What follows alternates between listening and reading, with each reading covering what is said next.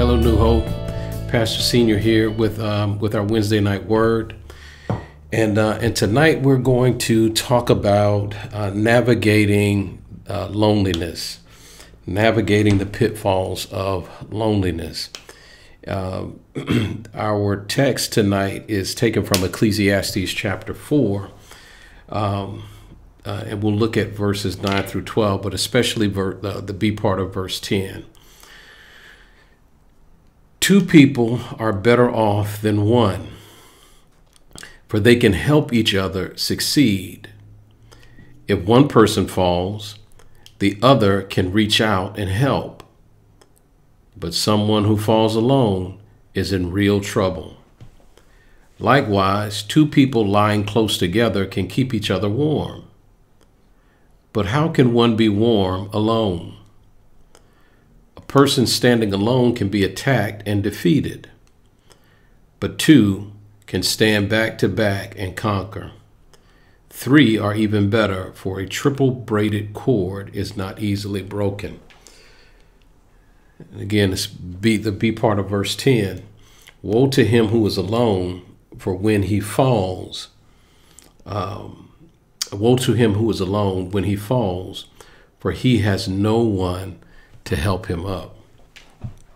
And so uh, when we when we talk about um, uh, loneliness, it is it is really something that uh, is particularly acute during the holiday seasons for a lot of people.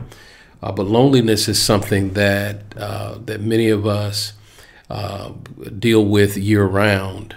Um, in fact, there are millions of people all over the country um, that daily uh, wrestle with the sense of isolation and and disconnect, emotional and physical disconnect from other people. And um, and one of the things that the scripture warns us about is being alone to face life's problems. Um, that it is it is not uh, advisable to face life's problems uh, on our own and it's important that we recognize the remedies that God has left at our disposal uh, for loneliness. And, uh, and again, though we all at various times grapple with loneliness, uh, sometimes there are particular seasons where alone, where loneliness can be particularly, uh, where we can be particularly um, vulnerable uh, to feelings of isolation and uh, an emotional disconnect from other people. And so, uh, just just pastorally speaking, as I think about some of uh, the the seasons that um, that I've had to walk people or had the privilege of walking people through, uh, include just see, just seasons of, of singleness, and you know wanting to be uh, to be married or wanting to be uh, in a covenant uh, committed relationship. Uh, wanting somebody uh, to cook uh, to cook for, or wanting somebody to Netflix and chill with, and uh, just makes me think about that scene from Coming to America um, when Eddie Murphy is singing "To Be Loved, To Be Loved, What a Feeling, To Be Loved," right? Um, you know, and, and so for for some for some um, uh, that this is a particularly uh, um, stressful time of the year just because of that sense of emotional longing and um, and, the, and the desire for um, a, a, romantic connection. Uh, but then, but then also, uh, you know, some some some people say single and lonely, uh, married and miserable. Uh, sometimes you have people that are that are in committed relationships but still feel alone. Um, you know, and and and, and, and it, it, you know, and, and anyone can uh, be subject to this, right? Uh, I, I, know people that uh, can say, you know, Pastor, we you know we both do well financially, we both love the Lord. Um, you know, he or she is, you know, they're good, they're good, they're a good person. Um, but I just know that my emotional needs are not being met, and there's a disconnect. And um, and even though we're together, uh, I still feel like I'm by myself. and then you have uh, you have folks that are navigating uh, seasons of great loss. Uh, like there's some there's some people that we lose in life that you you just never get over the loss of, of those folks. You get through it, right? But you don't get over it, and um, and and so there's that the loneliness of um, of being the survivor, being the one that's left uh, behind. Um, and then another season, um, you know, where loneliness can be particularly acute is um, is when you get into your older seasons. Uh, when um, you know, one of the things when I when I talk to uh, some of our senior and our elderly members, you know, where uh, they have now sort of transitioned out of seasons in their life when they had a lot of authority, maybe prominence, and um, and now um, wondering if anyone still needs them or respects them. Um, and so that is that that is a population uh, of, of folks in our community that are particularly vulnerable uh, to feelings of loneliness. And then, um, you know, another group of folks that uh, that I talk to that that frequently express uh, um, just issues with with loneliness are uh, people that are in service industries, uh, whether it is uh, human services or the, the medical field, or, or, folks that work in ministry. Uh, the you know serving and meeting the needs of others can be a sometimes very very lonely pursuit, uh, where you can uh, have feelings of, again deep isolation uh, feeling misunderstood, um, and um, and sometimes you know just unappreciated and unseen. And I want to just say this: I think it's important. Like there's certain things that happen in our community that are allowed to have undue power over us because of our unwillingness to call those things by name. Uh, there, there is, there are things in our in our community that I think we desperately need to normalize. And one of the things that I think it's important for us to normalize is conversations around loneliness. Uh, having feelings of loneliness does not make you uh, somehow less spiritual uh, than someone else. It doesn't mean that you don't know your Bible um, or that somehow you are lacking, you know, uh, in God's good grace.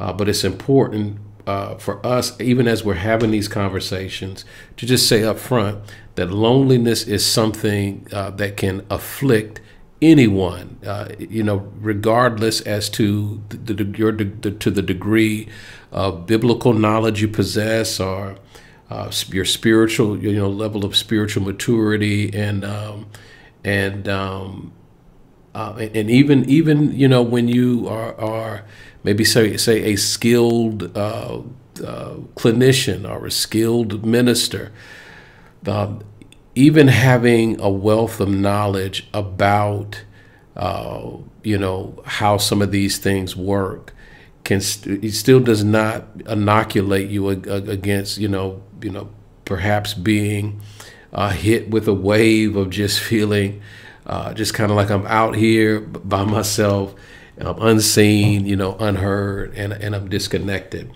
And, um, and it's important, man, um, you know, one of the ways that I think that we can normalize uh, these conversations, especially in, in, and I'll just say this tonight, in spiritual circles, you know, Christian circles, is number one, to just acknowledge the fact that it is a common theme in Scripture.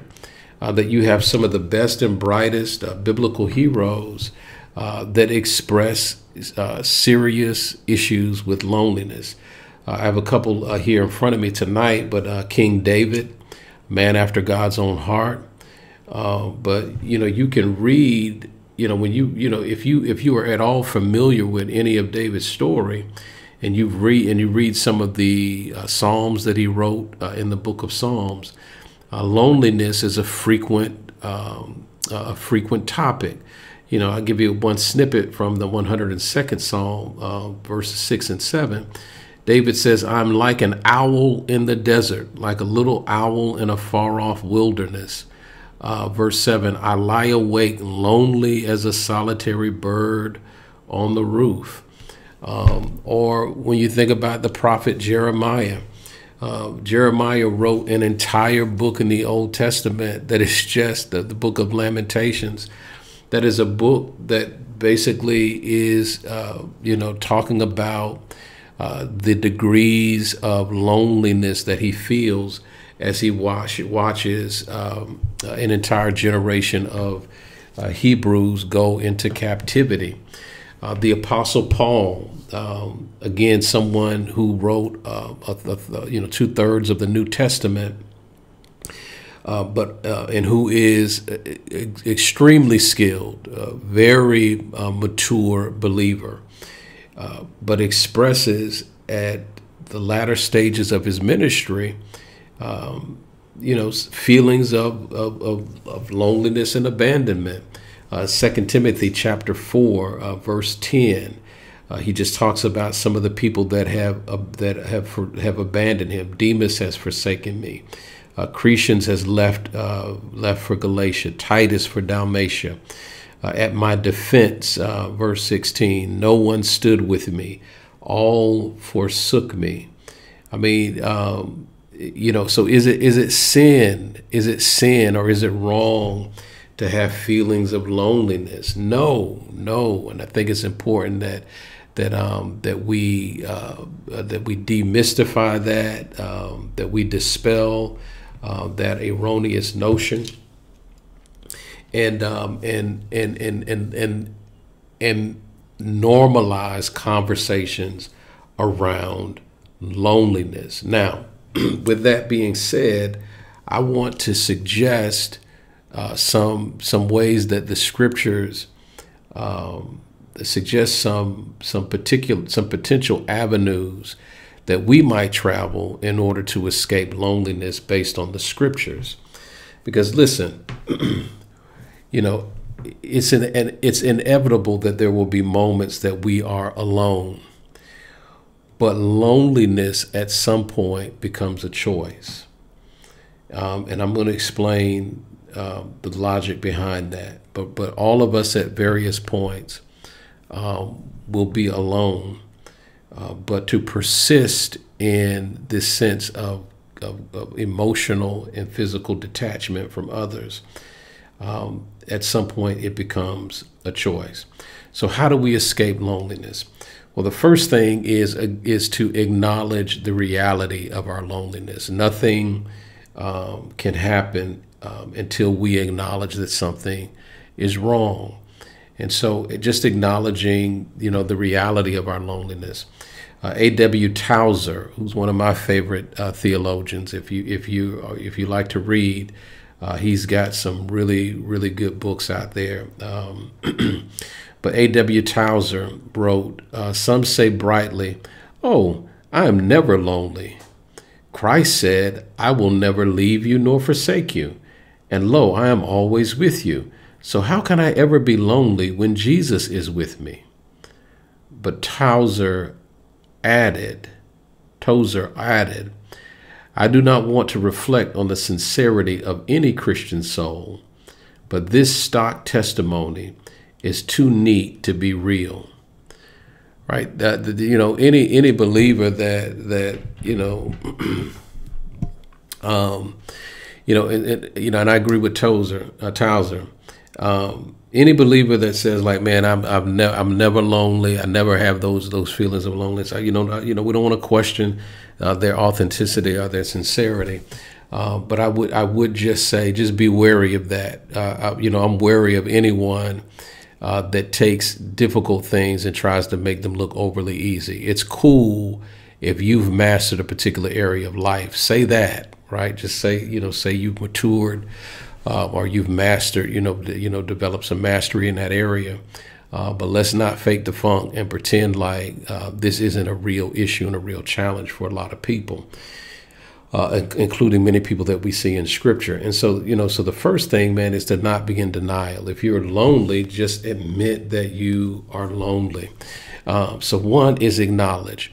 Then two, accept God's provision for loneliness. Um, and so when we talk about accepting God's provision for loneliness, um, you know, the the first thing um, that that God offers is Himself. Uh, right when Jesus is on the cross and He says, "My God, My God, why have you forsaken forsaken me?" He was bearing our sins and, and our pain and bearing our loneliness so that the love of God uh, can fill our hearts. Like that, when we when we talk about the ministry of the Lord Jesus, his ministry was all about making sure that you and I have night and day access to God. That is not to over spiritualize the issue of loneliness, but it is to say that God is a very real present help in the time of trouble. Uh, that God is uh, very much um, available to us, um, especially as we navigate things like isolation. And so I'll just say from you know just from a personal testimony, um, one of the things that uh, that I that I that I'm relentlessly consistent about is my my time of, of daily meeting with God, and and and a, and a lot of that is um, because of the loneliness that can be some sometimes associated with doing church work. Um, this again, um, uh, sometimes you just feel uh, you can feel uh, a disconnect where um, uh, where the work is concerned, and in order to remain moored, uh, it is it has been important for me to meet with God on an ongoing and regular basis and um, and not just in some religious and superficial way, uh, but to meet with Him uh, to such a degree uh, that daily He affirms His presence in my life, um, so that daily I am able uh, to affirm uh, the access that I have to Him. Um, and so, so that is um, so so accepting God's one of you know accepting God's provision for loneliness again includes um, embracing God Himself, leaning uh, into Him. Uh, another way that I accept God's provision, or we accept God's provision uh, for loneliness, is allowing God's Word uh, to fill my mind. Um, one another way of, of saying this is just thinking about your thinking. Uh, there are sometimes these uh, negative and toxic thoughts that come up um, and, and, and we have to be um, intentional about confronting them, especially when when you know when we're having these thoughts that drift to to extremes. Uh, it's like one wise man said to me. Uh, usually, when you're engaging in extreme thinking, it's it's not true.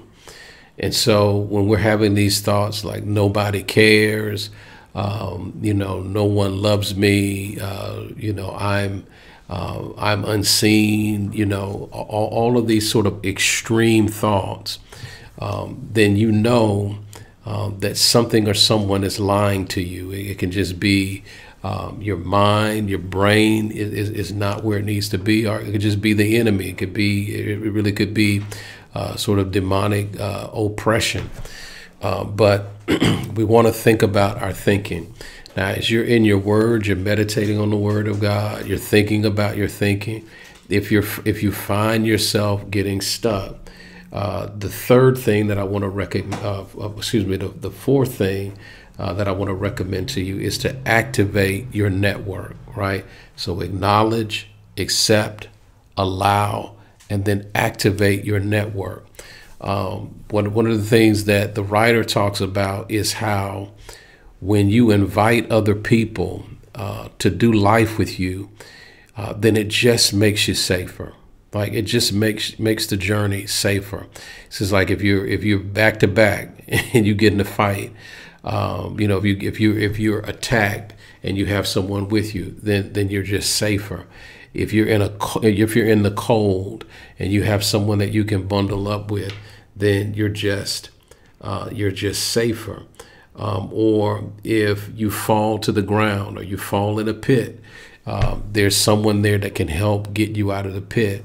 That when you when you travel, when you fight, um, um, when you fall, uh, that it is just safer um, when you have other people with you.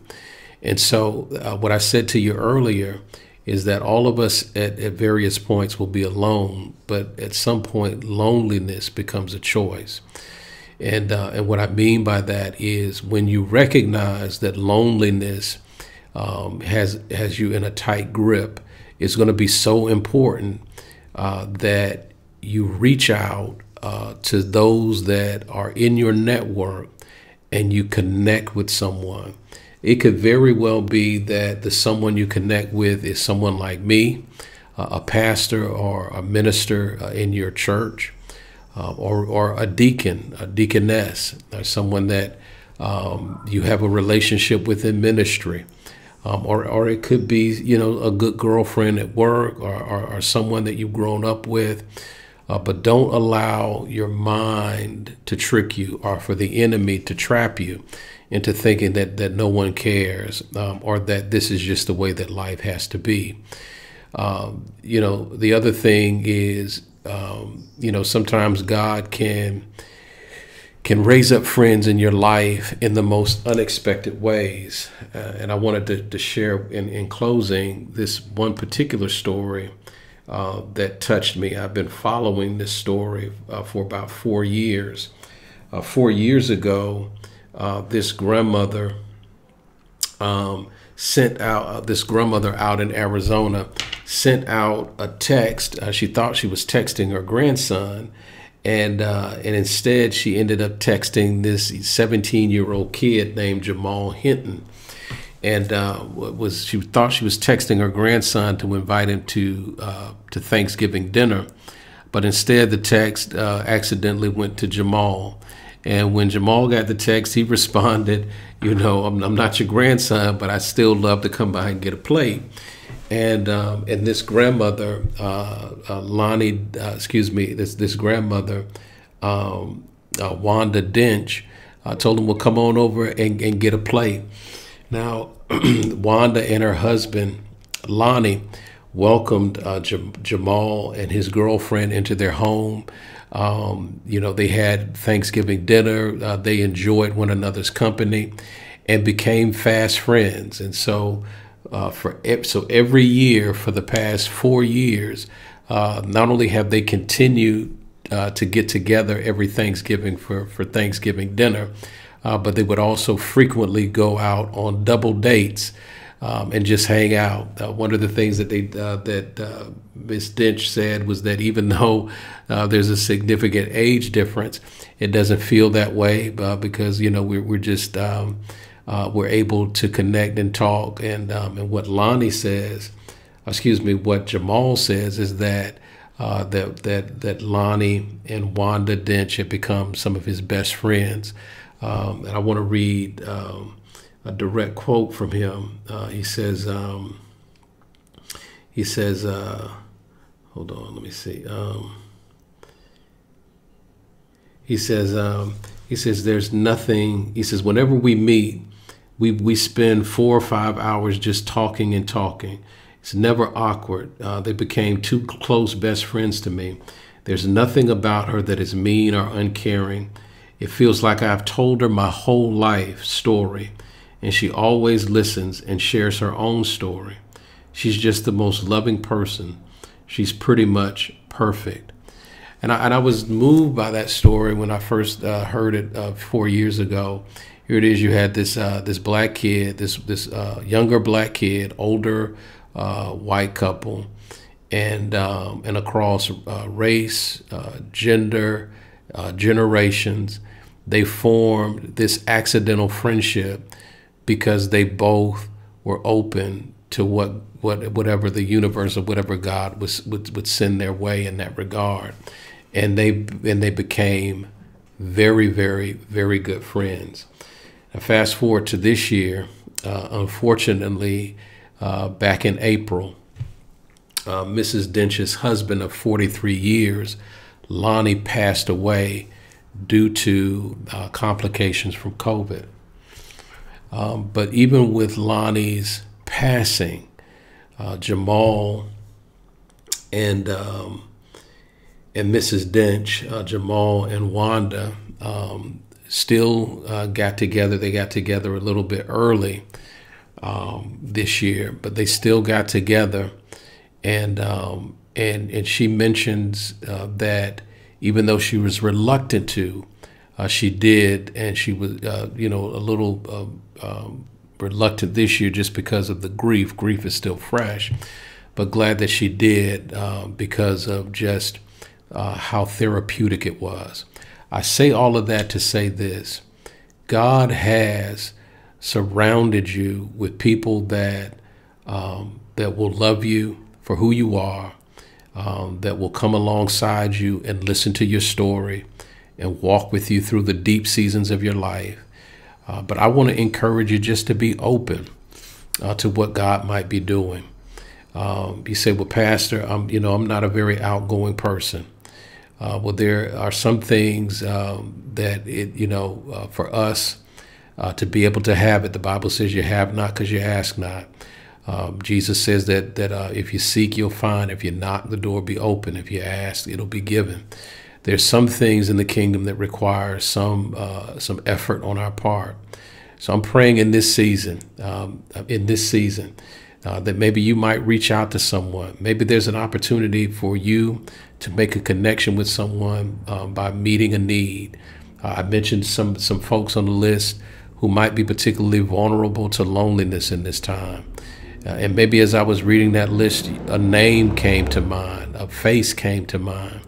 Um, maybe this is your season to reach out to someone, someone else who may be lonely, and maybe, uh, maybe as you're ministering to their isolation, God will in turn minister to yours. But in all things, remember that God will never leave you nor forsake you. He is with you. And so allow Him to lead you um, into those places of abundance. We love you. Uh, we thank God for you. And, um, and happy Thanksgiving.